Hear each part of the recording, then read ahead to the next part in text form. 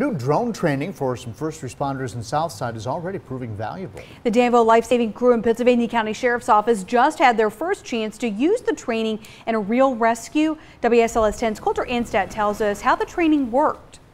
We went ahead and deployed this drone. As members of the Danville Life Saving Crew and Pittsylvania County Sheriff's Office headed to the Dan River yesterday to rescue a logger pinned down after a tree fell on one of his hands, they were already preparing to use their drones. Danville Life Saving Crew Assistant Director Brian Fox says that helped reduce the stress of the situation. We were developing a plan, talking on the radio on the way out.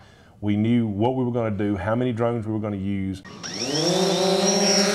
Fox says the training he and others went through last month to become certified drone operators perfectly prepared them for the rescue. Once everyone was on scene, the drones were deployed in a matter of minutes and they immediately began making the rescue safer. We were able to navigate the boats around some circumstances in the water, some debris, some rock formations, that they didn't see from the boat as they were trying to navigate. Jim Mullins is a Swiftwater rescue member for the Danville Life Saving Crew and was in one of the boats. Brian put his drone in the air. He went down initially to make sure there were no hazards that we had to know about. Mullins says the drones also came in handy at the end of the rescue as the pinned down man was brought back across the river to be taken to a hospital. The drone could be put up to watch to make sure there was no incident uh, and bringing them up. I did reach out to the Pittsylvania County Sheriff's Office today for an interview, but did not get a response. In Danville, Colter Anstadt, WSLS 10.